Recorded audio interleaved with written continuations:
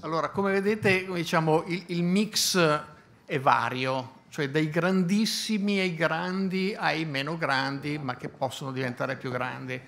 Cioè, diciamo, Sì, grazie. diciamo, il, il- il- il panorama è complesso e mutevole, anche perché, a quanto mi risulta, negli ultimi anni, ma specialmente nell'ultimo anno, c'è stato diciamo, un movimento di aggregazione piuttosto consistente che proseguirà, non lo so. Adesso io vi chiedo, ehm, come dire, eh, innanzitutto di eh, partire nel vostro intervento dando tre numeri per spiegare qual è la vostra realtà.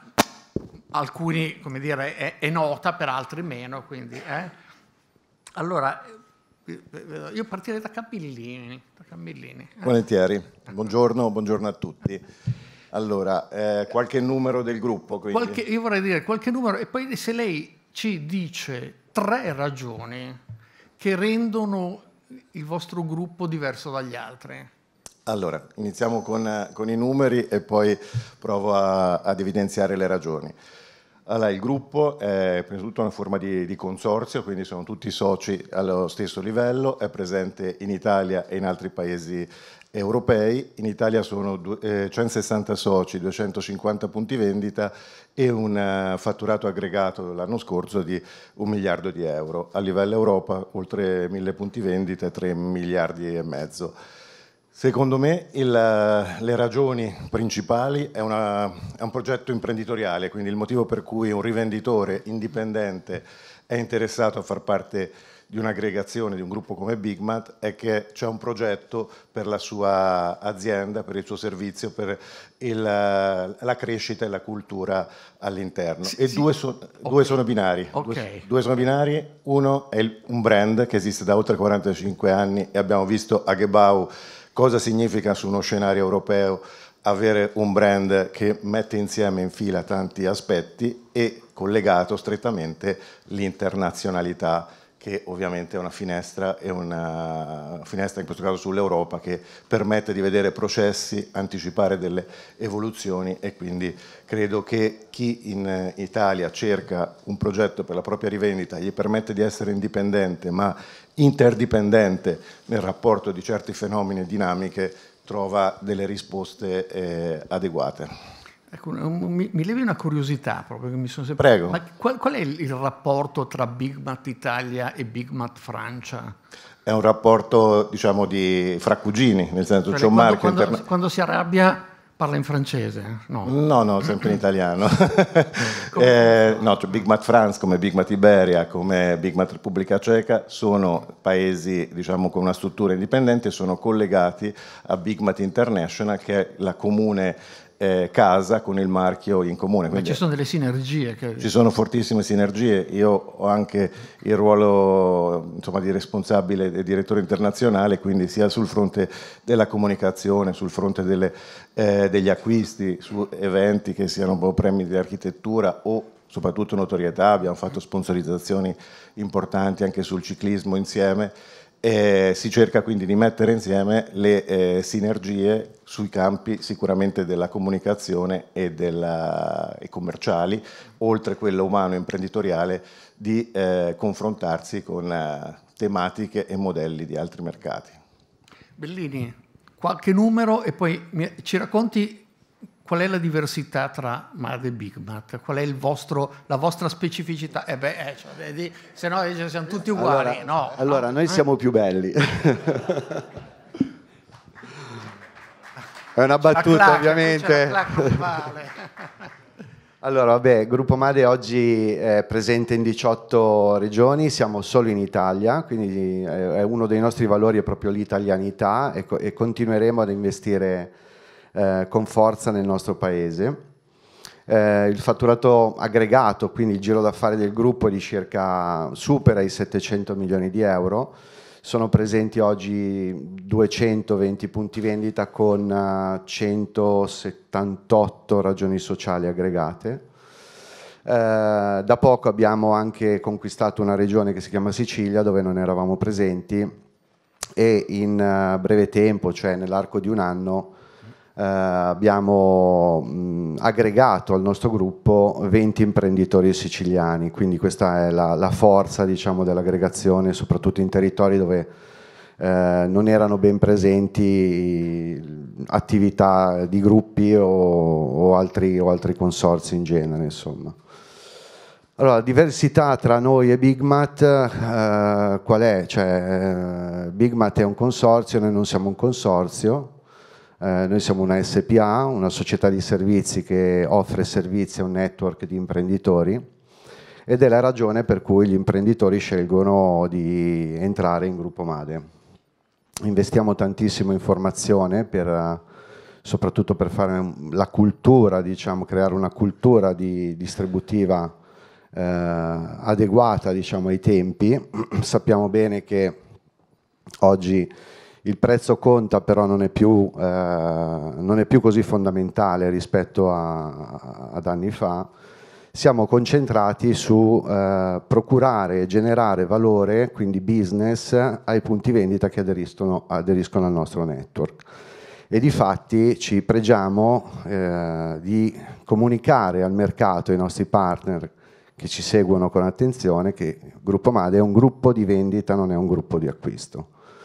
Eh, gruppo di vendita perché con i servizi che offriamo, eh, come dicevo, eh, generiamo delle opportunità di, di, business per tutti i nostri punti vendita, eh, aumentiamo la cultura di impresa, cerchiamo di eh, alzare il livello della cultura di impresa nei nostri punti vendita e in più eh, abbiamo anche due eh, aree strategiche che ci differenziano, insomma, da, in questo caso da Bigmat, visto che la domanda era questa. Una è la divisione logistica, abbiamo quattro piattaforme logistiche e offriamo servizi di eh, stoccaggio e, e, distribuzione di prodotti ai nostri partner della produzione per, solo per la distribuzione edile e eh, un progetto che si chiama Made Distribuzione che eh, è nato nel 2018 eh, sentendo prima a Gebau quello che stava dicendo proprio per non perdere delle, dei punti vendita che magari non, han, non, avevano passaggio generazionale oppure erano stanchi di, di, fare questo lavoro oppure non avevano forza di investimento, abbiamo iniziato, iniziato un processo di acquisizione diretta e di gestione diretta dei nostri punti vendita.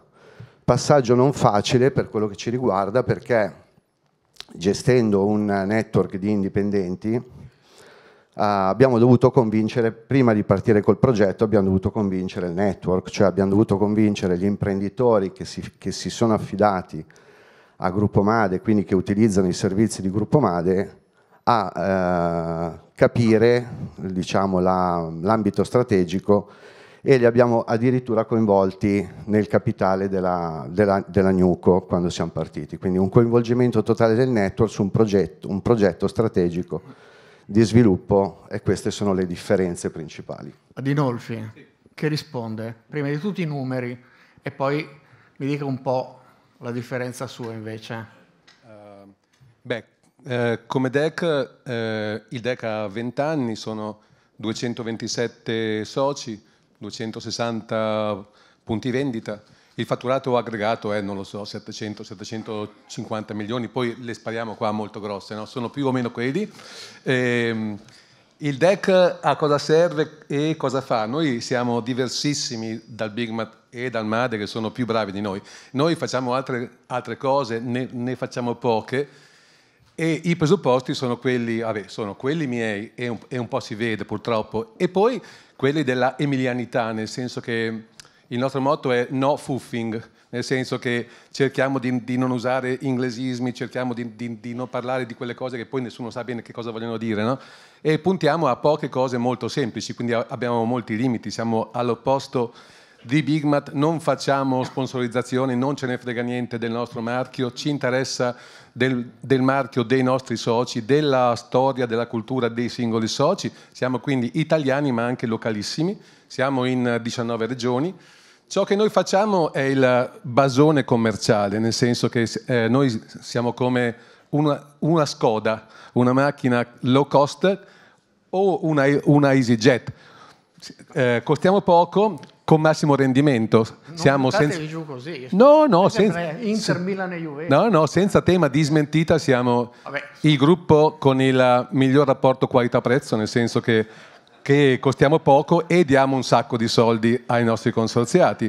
Siamo il gruppo con il maggior numero di accordi commerciali, nel senso che per noi avere tanti accordi commerciali è un plus anziché un minus, non è solo un fatto di soldi e di contratti, è un fatto di contatti, nel senso che una delle delle funzioni principali di un gruppo è fornire al singolo associato la possibilità di, di approcciare tanti fornitori, cosa che non potrebbe fare se fosse, se fosse singolo. no? Poi perché il deck anziché qualcun altro? no? Se ho ancora un minuto ve lo spiego. È come un po' per il sesso, no? nel senso che il, il- il sesso si può fare per conto proprio oppure con altri. no? Per conto proprio è, è sicuro, costa poco, è piacevole, non ci si ammala. Fatto invece in gruppo, in gruppo, il deck e anche loro siamo un po' delle ammucchiate perché 200 e tanti soci, ci sono anche dei... ecco, perché il, il deck? Io, io le posso chiedere una cosa?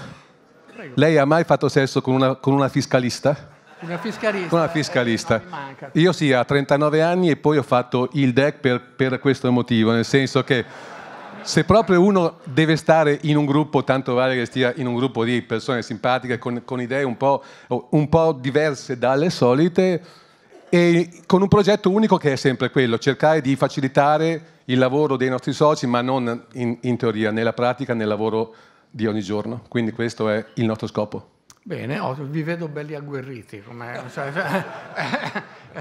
è uno spirito giusto per affrontare il nuovo periodo. Ma io partirei da qua adesso, perché Orazzi, lei, come dire, si immagina que- quello che si chiedono tutti, ma, come dire, questo esploit, da dove arriva? Diciamoci una, una breve schedina e ci spieghi da dove arriva. Sto. Allora, noi diciamo abbiamo puntato tutto sul super bonus. ehm, uno perché siamo un'azienda giovane, abbiamo aperto un magazzino nel 2018 e quindi avevamo necessità sia di farci un parco clienti importante e A sia Roma, per, a Roma, noi stiamo a Roma, e sia per i progetti che io ho in testa avevo bisogno dei soldi. L'unica opportunità che io ho visto era il super bonus nell'edilizia, dove noi ci siamo catapultati tutti quanti, non eravamo pronti per affrontare chiaramente né il fatturato, né le consegne, né tutto quello che ci ha portato, però era un'unica opportunità per noi per, per crescere. Quindi noi siamo- ci siamo preoccupati da trovare i fornitori, quindi principalmente dei isolanti, rinforzi strutturali e via dicendo, e praticamente nel 2022 e 2023 abbiamo puntato tutto su quello. Questo ci ha permesso comunque da farci un bel pacchetto dei clienti. Eh, ma, ma diciamo quanto anche, perché come dire, siamo Noi diciamo siamo da, da, da A. Allora, noi siamo un'azienda che facciamo mediamente 3 milioni, siamo passati a 9 e poi abbiamo fatto 27 e l'ultimo anno 67. Eh, Insomma, vedere, forse l'applauso. Però dicia- di- diciamo, siccome io sono un po' stronzo, diciamo, nell'animo proprio, eh, cioè l'anno prossimo Ma allora noi non ci preoccupiamo dell'anno prossimo, anche perché noi non abbiamo necessità di farci vedere coi fatturati, noi abbiamo necessità da fare liquidità, da comprare capannoni e da espanderci. Questo per me è il mio progetto, quindi io voglio aprire almeno tre punti vendita su Roma, quindi anche se noi l'anno prossimo facciamo la metà, un terzo, non ci interessa. Quello che ci interessa invece è strutturarci, che è quella- il processo che stiamo diciamo, avviando adesso, che è un processo costoso e, e tosto, perché a vendere diciamo, siamo stati tutti bravi, il momento ce lo permetteva, abbiamo trovato i fornitori, siamo stati anche un po' fortunati, però adesso ci dobbiamo organizzare, che è quello che appunto. stiamo E- facendo. E, e come vi organizzate adesso? Perché Eh, stiamo creando tutte difficile le- viene adesso. Eh certo, Eh, diciamo, siamo partiti dal gestionale, siamo partiti dalle persone, stiamo facendo un organigramma, tutte queste cose che insomma ogni azienda ha bisogno, però noi per fatturare quei numeri in quel momento là non potevamo avere regole, perché tutti quanti acquistavamo, tutti quanti vendevamo, tutti quanti fatturavamo, l'importante è che se vendeva e se incassava. E quindi noi no- no- non ci abbiamo avuto una regola un- o delle procedure diciamo, che abbiamo potuto mettere in atto in quel momento, altrimenti non, non saremmo riusciti a fatturare quello che facevamo, quello che abbiamo fatto. Beh sì, io so che lei ha dire, una particolare attenzione assolutamente condivisibile per l'aspetto finanziario di gestione dell'impresa. Innanzitutto ci può spiegare perché avete cambiato brand, come funziona questa cosa qua? Eh? Si sente, sì. E abbiamo cambiato brand perché mh, sostanzialmente le persone sono fondamentali, quindi eh, Eternity aveva 75 anni di storia, eh, non è un brand che ha creato la nostra famiglia, quindi c'è anche un pochino una tematica di non affezione emotiva probabilmente anche da parte nostra e mm, Vincenzo Zanutta mi ha preso in giro e mi ha detto eh, che, che, nome megalomane eterno, no? E allora gli ho detto, per scherzare chiaramente, ho detto ma tu metti il tuo nome su tutti i capannoni, chiaramente credo che sia anche questo un fattore, un fattore su cui si potrebbe discutere in termini di megalomania. Comunque scherzi a parte, eh, siamo partiti dalla radice del nostro nome e abbiamo sintetizzato la parola edilizia nell'infinito, perché se si pensa appunto a Roma, dove siamo presenti da pochissimo, Roma viene definita la città eterna, non c'è niente sostanzialmente di più eh, durevole diciamo, del bene edile. E è sicuramente un brand più attrattivo sostanzialmente, chiaramente il brand anche se vendi eh, mattoni, se vendi cemento, è un fattore che può essere differenziale. Basti pensare a S lunga sostanzialmente, che è riuscita a creare un love brand perché le persone vanno da S lunga piuttosto che da Carrefour perché c'è dietro una filosofia eh, che viene espressa attraverso un sistema valoriale molto forte. E riprendendo un pochino la domanda iniziale che, che, che, che aveva fatto sui, su, sui, tre pilastri sostanzialmente, che non, non, ritengo che siano necessariamente differenziali rispetto a quelli di un Orsolini o di uno Zanutta, perché eh, tutti fondamentalmente abbiamo ben chiare queste, queste, dinamiche, però sicuramente persone, formazione e numeri. E le persone, l'azienda è fatta di persone, chiaramente se la qualità media è bassa l'azienda avrà delle performance che sono scadenti. E faccio un pochino di dualismo con i consorzi dai per mettere un pochino di piccante.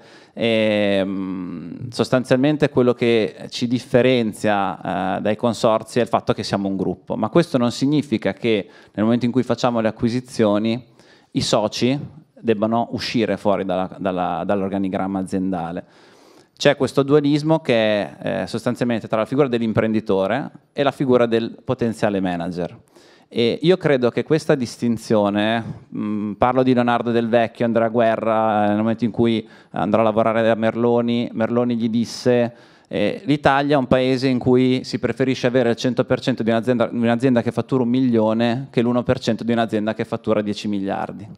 E non erano esattamente queste le parole, ma il senso era questo. Io credo nella figura del manager imprenditore. Infatti all'interno della nostra azienda noi facciamo una formazione che è altamente imprenditoriale, oltre che manageriale. Tant'è che i nostri manager, che magari sono ex soci delle aziende che abbiamo acquisito, faccio il caso di Carini per dire a Trento che faceva parte di un consorzio, paradossalmente si lamenta del fatto che io non gli dedico abbastanza attenzioni perché c'è un processo di delega forte, di altissima fiducia nei confronti delle nostre persone e parte chiaramente dalla selezione. Io ho fatto centinaia di colloqui eh, perché le persone sono chiaramente fondamentali.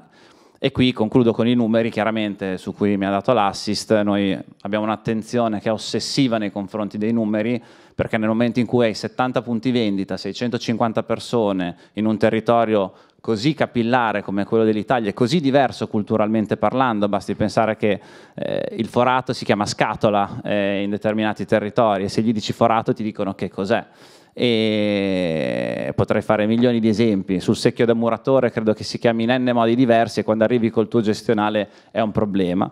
E quindi il controllo di gestione diventa vitale per un'azienda così, eh, così capillare come la nostra perché alla fine della fiera se l'azienda non è solida tutti gli altri discorsi vanno a quel paese sostanzialmente. Beh, siccome io non è che voglio farvi litigare, no, ma no in realtà voglio farvi pochino, litigare, ma... diciamoci la verità. No, io vorrei sapere cosa ne pensa del, del, modello di business di finanziarizzazione in un certo senso. Io, eh. io sono ammirato da, una, da una, una storia di questo tipo e sono estremamente onesto e noi abbiamo avuto una, una scelta strategica totalmente opposta. Noi abbiamo cercato di evitare il super bonus.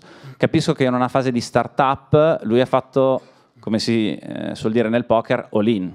e se io fossi stato al suo posto sicuramente avrei probabilmente fatto una scelta di questo tipo che ha delle eh, chiaramente criticità in termini di rischio, poi io non so come ha gestito il cash flow ed è stato, la sua attenzione è stata eh, sulle parole molto nitida e molto chiara, vendere e incassare. Se mi avesse detto solo vendere mi sarei preoccupato.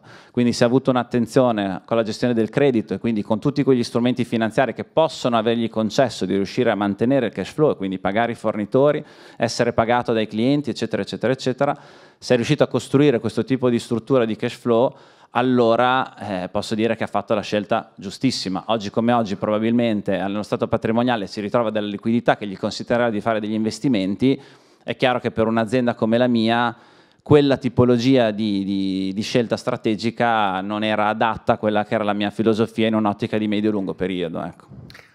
Orsolini, allora due numeri, perché qui bisogna, bisogna tenere aggiornati come eh, negli aeroporti che cambiano, le, eh, ogni, ogni giorno ce n'è una nuova più o meno quasi, numeri e poi come dire, le tre specificità.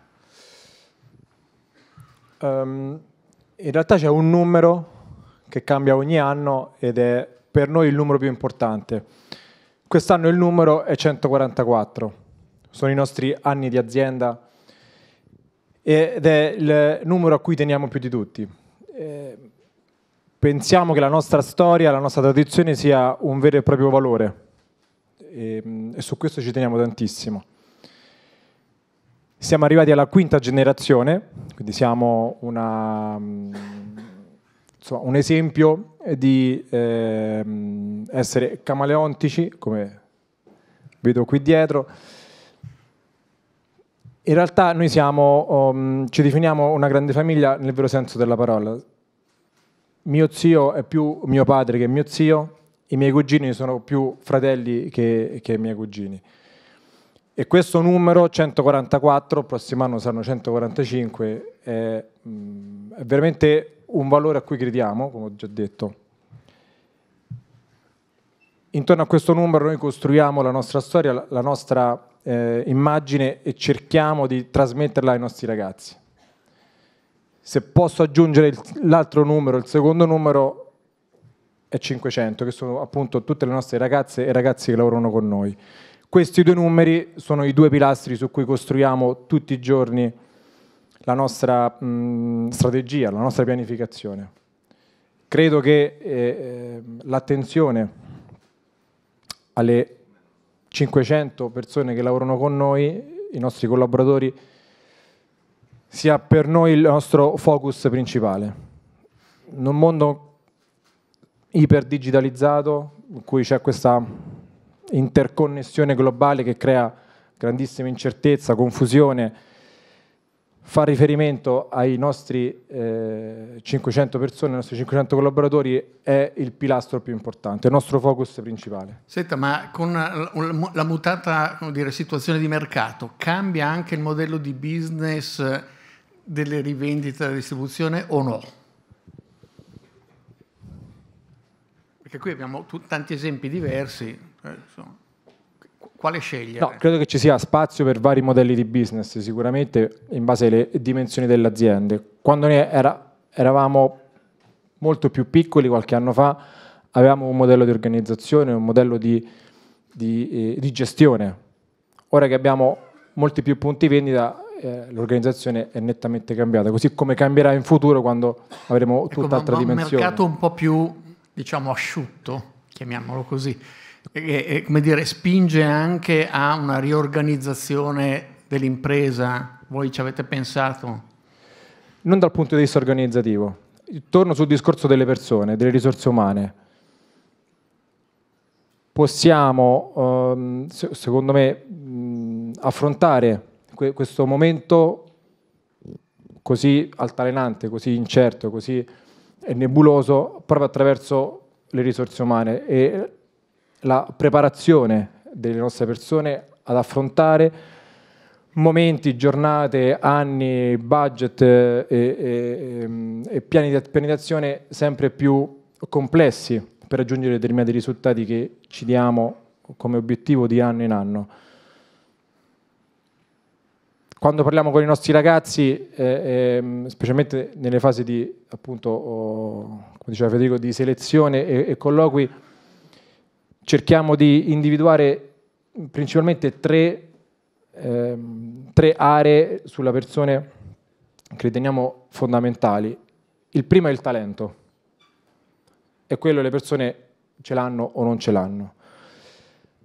Cerchiamo di, eh, di intercettarlo. Le altre due sono il livello di ehm, entusiasmo e il livello di disciplina. Sono le altre due grandi componenti che eh, noi cerchiamo nei nostri ragazzi. Come dicevo, il talento non si può modificare, è quello. Sulle altre due ci possiamo lavorare, quindi cerchiamo quelle persone che con eh, quel potenziale di talento e quel potenziale di, di disciplina attraverso il nostro programma di formazione, supporto, accompagnamento delle risorse umane, creare quelle squadre sui nostri punti vendita di, in grado di affrontare il momento attuale e, e, gli anni che ci saranno, così incerti e veramente ma, ma come la vede? difficili da interpretare. Diciamo, come, come, la vede il 2025? E per un ottimista come me eh, non la vedo malissimo, insomma, pensavamo a un 2024 molto peggiore, al, al tracollo e al eh, ritorno come un boomerang ad anni eh, con, non dico più, più difficili, con volumi molto più, molto più ridotti, in realtà non è stato così e sicuramente non sarà così anche per il prossimo anno. Cerone, io vorrei passare come dire, a, a, a, come dire, un, a, una realtà un po' diversa, credo, no? da quanto ho capito. Io non conosco bene la sua azienda, anzi le aziende, perché eh, ne gestisce più di una. Ci racconti un po' che... Forse sono l'unico del sud Italia, non conosco Edil Casa Caccamo, ma sono forse l'unico che ha una rivendita del sud Italia. Diciamo che da noi è, uno, è un altro mondo rispetto... Voi Campania, no? Sì, Campania, sono a Salerno come rivendita. Mm? Non esistono rivendite che hanno 4, 5, 6, 10 punti vendita, ma il 99% è fatto da monorivendita. E il motivo è, è, secondo me culturale perché da noi il titolare è quello che sta in cassa a vedere se qualcuno ruba qualcosa, se ci sta problemi fiscali che abbiamo dalle parti nostre e giustamente il proprietario deve essere il primo che ha affronta il cliente che arriva. Infatti nessuno di loro ha punti vendita nel sud Italia, penso. Ah, mamma che coraggio! eh, questo è il motivo per cui io eh, ho pensato di investire in settori, alcuni correlati al mio lavoro e altri completamente diversi. Eh, ho aperto un'agenzia per il lavoro, una start-up nel 2019 con altri quattro soci poi ho due aziende che si occupano di costruzione e un'altra che distribuisce materiale edile ai rivenditori della, camp- della Campania. Purtroppo non riuscendo a, ad aprire tanti punti vendita sul territorio perché cioè, uno di Salerno è difficile che va a aprire a Napoli o va a aprire la rivendita a Caserta. Ma perché dice che è difficile? No, perché io non conosco. Eh. Qual è il problema? No, no, spieghi. Perché cioè, cioè, i treni non funzionano, l'autostrada è intasata. Diciamo che aprire a Napoli per un salernitano non è il massimo, penso che nemmeno per un uh, romano bolognese. Ci sono dei, dei problemi territoriali, ah, diciamo. Ah, ho capito. Ho capito. Anche da Salerno a Napoli. No. Infatti a Napoli ci sono delle grosse realtà, ma siamo tutti tutti quanti con un solo punto vendita. Ah, ho capito. Da noi si usa molto la distribuzione, cioè noi forniamo a tanti rivenditori piccoli. Ah. Ma il rivenditore piccolo è territoriale. Ma adesso, adesso non voglio portare Iella. Che no, no. Dice, no, no. Io dico non voglio portare Iella, ma diciamo con un mercato che si riduce e, come dire, rende più, uh, come dire, non so, disponibili molti rivenditori a passare la mano, accedere, a dedicarsi a, alla pesca o altre cose. Voi come, come, come, vedete questo? Cioè, siete, siete dire, in un'ottica anche di, aggrega- di, diventare un polo aggregante? no, no, al sud no. penso sia una cosa... Ognuno... No, ma non- per me sarebbe una cosa molto positiva. Sto aprendo uno showroom di 1700 metri quadrati dove vendo, venderò mattonelle e termoidraulico. Penso che aprirò a febbraio. E quella può essere qualcosa che io poi replico in tutta Italia. Perché lì non farò di DT, chi viene deve pagare o fa fattura accompagnatoria o pose i soldi. Sono realtà diverse, no? Lei no, diceva che, che ha tante attività, com'è che riesce a coordinare tutto? Eh, diceva bene Nessi, eh, vabbè, nell'agenzia per lavoro l'ho fondata con altre tre persone, di cui tre erano praticamente ex dipendenti di Quanta, che è un'agenzia per lavoro che fatturava circa 200 milioni di euro. Loro mi hanno detto vogliamo fare questo progetto, ho detto vabbè tanto il 95% delle start-up fallisce in 5 anni, proviamoci. Alla fine ci è andata bene. Oggi abbiamo 10 sedi in Italia con eh, questa agenzia che si chiama Apis SRL e siamo quattro soci praticamente che gestiscono l'attività. Poi sto costruendo, devo costruire nei prossimi anni circa 100 appartamenti a Salerno, dove ho però sempre sono al 50% con dei soci che sono costruttori. Non di Napoli. Di Salerno. Ma no, nulla contro Napoli. eh. Anzi, c'è, mh, all'inizio quando iniziai a distribuire su Napoli avevo il terrore di vendere sul territorio napoletano, che dicevo tutti non si incassa, ci sono problemi. Ci sono pochi rivenditori ma molto solidi sul napoletano. Sì, sì, sì. Non, Non non è- ne parliamo male assolutamente. E anche il casertano. Ho capito. Zanutta, ma lei, lei invece, come dire, mi sembra che non abbia questo problema di rimanere nel territorio, in Friuli, anzi, la pianura padana c'è un'autostrada che va est-ovest. eh? Ci, ci- ci dia due numeri del suo gruppo e poi le sue specificità. Bene, Eh, praticamente la nostra azienda si estende sul nord Italia, da Trieste a Torino, abbiamo 52 filiali, abbiamo circa un migliaio di persone e fatturiamo circa 300 milioni. Diciamo che il territorio su cui noi abbiamo lavorato è un territorio abbastanza omogeneo, anche se, come dice Federico, effettivamente la nomenclatura non è proprio eh, la stessa. Però diciamo che le logiche della distribuzione sono abbastanza comuni e abbastanza logiche. Oggi ci troviamo ad affrontare però un, un mercato che è di nuovo cambiato, quindi oggi le preoccupazioni sono, non è essere aggregati, essere distribuiti, essere piccoli, essere grandi, è capire il mercato di domani. E il più veloce a capirlo è sicuramente quello che si adatterà meglio per affrontarlo, perché bisogna cambiare l'azienda in maniera strutturale purtroppo a questi cambiamenti di mercato. Sembra facile, sembra dirlo, ma credetemi effettivamente non è che ti, cam- ti alzi la mattina e cambi vestito. Purtroppo il mercato sta cambiando, sta cambiando molto velocemente. Le sfide da vincere sono sicuramente due, come ha detto il nostro amico eh, della Germania, che effettivamente bisogna capire le nuove esigenze del cliente che sono trasformate, le imprese non vogliono più il super bonus ma vogliono qualcos'altro e quindi bisogna andare nella specificità del prodotto, entrare nella specificità del processo e dopo c'è la seconda sfida è cercare di eh, valorizzare le nostre risorse umane, perché anche le risorse umane stanno diventando sempre di meno e quindi dobbiamo elevare le, le risorse umane per dare una risposta ai nostri clienti sempre più professionale e sempre più immediata.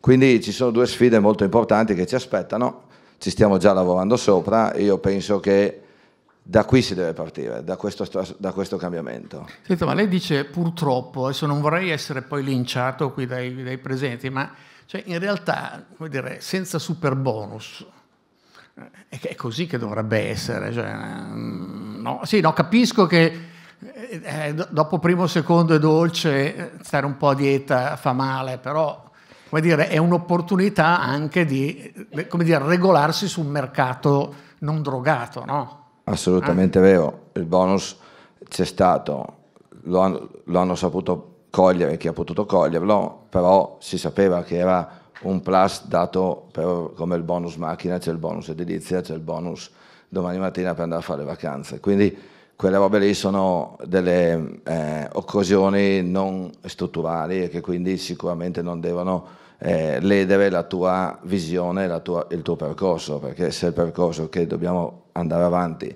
eh, tri- triplicare, quindi di conseguenza devi andare avanti con cose certe, non con fantasie eh, che possono solo ledere un po' il, il percorso.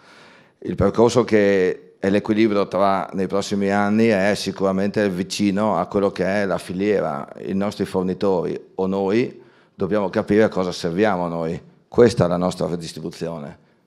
Però che sia piccolo o grande. Mi sembra una piccola polemica verso i produttori. eh? È una polemica, non una polemica, è una fase di costruzione, un equilibrio diverso, perché dobbiamo costruire insieme qualcosa di diverso da quello che c'è oggi. Perché se restiamo divisi, come siamo oggi, diventiamo noi a cosa serviamo alla filiera? A fare da banca alle imprese?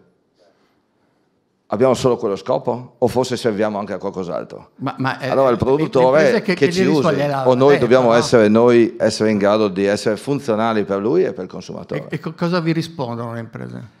che dobbiamo cercare di sicuramente eh, trovare delle strade tangibili per dare un segnale di deviazione a questo, a questo percorso. Perché prima il tedesco diceva appunto che distribuiscono tutto loro.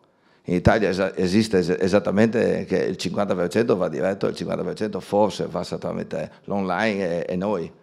Quindi noi a cosa serviamo? Dobbiamo capire questa realtà se noi dobbiamo essere utili ai, ai- ai fornitori, non solo fare da banca alle imprese. Perché lui giustamente ha detto, prima te paghi, dopo te carichi. Certo, certo. che sarebbe, però ci toglie ancora quella funzione che è la distribuzione, lo stoccaggio, l'immediatezza. Magari, magari. Spettacolo. Domani tiro via i DDT. Però queste sono scelte strutturali, sono d'accordo con te. Però per arrivare lì bisogna arrivare con un percorso di filiera, perché non possiamo che io e te domani mattina tiriamo via i DDT e loro arrivano direttamente con Amazon in cantiere, no? Perché oggi a cosa serviamo, ripeto? A cosa serve la distribuzione? Se non diamo valore alla distribuzione, dobbiamo creare il valore, allora serviamo. E quindi la fase tecnica, il valore del, del prodotto, del processo, dobbiamo essere, deve essere in bocca ai nostri, ai nostri- alle nostre risorse umane. Perché il cliente abbia bisogno di dire, aspetta che chiamo quello che così almeno mi dà una risposta, se no... Questa è mio- la mia visione. Ottimo. Eustacchi, un, un modello di business diverso, una realtà diversa, eh? ci racconti Sì. un po'. Anzitutto ringrazio Utrade e Virginia Gambino per avermi dato questa opportunità, per essere qui con i giganti della distribuzione, quindi per noi è orgoglio e onore essere qua. Allora, eh, la nostra è una realtà comunque eh, abbastanza datata perché eh, Edi Casa Caccamo nasce nel 63, quindi abbiamo 61 anni di storia. Eh, il nome di Casa Caccamo rappresenta proprio eh, eh, le radici. Eh, Caccamo è una piccola frazione eh, di un comune della provincia di Macerata eh, dove si erano stanziati dei siculi, ecco perché ha, preso nome- ha preso questo nome Caccamo. Noi siamo molto legati al nostro territorio, io faccio parte della seconda generazione, l'azienda è stata fondata da mio padre insieme ad altri due soci appunto nel 63 e poi eh, la sfortuna ha voluto che eh, sono scomparsi molto giovani e già dal 98 eh, io e mia sorella abbiamo preso in mano l'azienda mh, l'azienda contava già tre punti vendita, appunto la sede a Caccamo, poi Civitanova Marche e Cascia in Umbria. Noi abbiamo inserito un nuovo sito eh, proprio l'anno scorso dove facciamo centro lavorazione legno strutturale, quindi abbiamo- facciamo la lavorazione legno, tetti legno, solai, eccetera. Questa è un po' la nostra organizzazione. Eh, la differenza con gli altri, diciamo che io condivido molto le parole di Orsolini perché anche noi abbiamo puntato, eh, siamo io e mia sorella da soli, non possiamo fare nulla, abbiamo puntato sulla professionalità, la serietà eh, dei nostri collaboratori, dei nostri dipendenti. Noi abbiamo 45 dipendenti eh, più 4 agenti liberi professionisti che sono comunque monomandatari e per noi eh, eh, le cose principali sono aver conquistato negli anni e mantenerla, perché conquistarla è più facile, è più difficile mantenerla, la fiducia da parte dei nostri clienti. Noi operiamo essenzialmente in tre province, Macerata, Fermo e Perugia e quindi abbiamo uno zoccolo duro di clienti che ci accompagnano da eh, molti anche da 60 anni, da già stanno alla seconda o alla terza generazione, quindi diciamo, dobbiamo rinnovarci, dobbiamo sempre essere attrattivi nei confronti dei nostri clienti. Eh, voglio raccontare un aneddoto, ma è proprio quello che siamo noi. No? Eh, io sono qua con due miei collaboratori, eh, il telefono ha squillato fino alle otto e mezza di sera, ieri, e ha iniziato a squillare alle sette di questa mattina. Quindi eh, noi siamo a disposizione, questa è la differenza secondo me che può fare una realtà come la nostra no? in, eh, in un'area anche piccola, no? perché siamo comunque la provincia di Macerata fa 300.000 abitanti, so tutte le marche fanno... Dicevano che lei avete ricevuto un premio al Cersaie, però mi dicevano che è, dire, la, un aspetto da, da interessante è che voi si, com, avete un competitor vicino molto più grande, no? Come, come... Cioè, allora, in realtà non abbiamo ricevuto il premio, siamo arrivati terzi, però è ah. un, un, premio legato al nostro showroom di Civitanova Marche. Noi a Civitanova Marche appunto eh, nel 2019 abbiamo deciso di ristrutturare completamente eh, la sede, eh, dove abbiamo lo showroom appunto, è una casa colonica di 600 metri quadri, eh, che mh, lo showroom era uno showroom tradizionale, no? quindi facevamo molta fatica, noi abbiamo un competitor eh, lì a 500 metri, forse uno dei competitor più importanti, no? la Fratelli Simonetti, quindi abbiamo deciso di eh, cambiare un po' eh, quello che era l'offerta alla clientela, quindi elevarci molto, su, puntare tanto sulla qualità, ma soprattutto sulle persone all'interno dello showroom. Abbiamo quattro persone, eh, continuiamo a fare formazione, continuiamo a, far, a farli crescere perché eh, se eh, il cliente arriva e trova qualsiasi persona trova delle quattro sono competenti e sono all'altezza della situazione, eh, fai un ottimo lavoro e diventi attrattivo e riesci a, comunque a portare via diciamo, un, un cliente a una struttura vicina che ha 6.000 metri quadri di sala mostra, dove per ovvi motivi non può avere 30 eh, persone addette alle vendite eh, completamente formate e super eh, efficienti, quindi questo è un po' quello che fa la differenza. Se il cliente tro si trova di fronte a una persona eh, capace, eh, all'altezza, eh, magari eh, acquista anche dall'altra parte, ma se trova una persona che ancora è all'inizio della carriera, è ancora acerba, diciamo, e questo per noi eh, fa la differenza perché riusciamo a distinguerci e a portare, a portare via quel determinato progetto, quel lavoro. Senta, qui abbiamo, avrà sentito, cioè, l'armata Made, l'esercito Bigmat, i guerriglieri di DEC.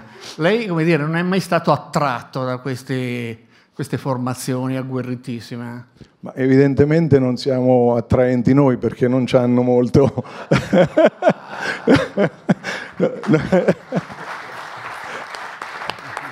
Ma noi stiamo bene così, eh? stiamo bene così, siamo ben lieti e felici di, cioè, il vostro di andare avanti. stare da soli, non ci piace stare da soli. Poi per carità abbiamo avuto anche delle esperienze con dei gruppi, abbiamo avuto delle esperienze con il gruppo Consorzio Intesa di, di Pedaso, abbiamo avuto un'esperienza, è stata un'esperienza diciamo eh, per noi molto positiva per, perché ha creato dei rapporti con gli altri soci eh, molto profondo, anche intenso, eh, ci sentiamo spesso, anche, noi continuiamo ad acquistare del materiale da loro, non siamo più soci, ma per una serie di motivazioni che nel periodo crisi c'è stata una, sono scomparse diverse Siete rimasti realtà. buoni rapporti con Era, eravamo, sì, siamo, eravamo rimasti in pochi e poi alla fine sono rimasti da soli i soci fondatori. Ho capito, ho capito, va bene. Allora partiamo con un video, ma voi rimanete qui.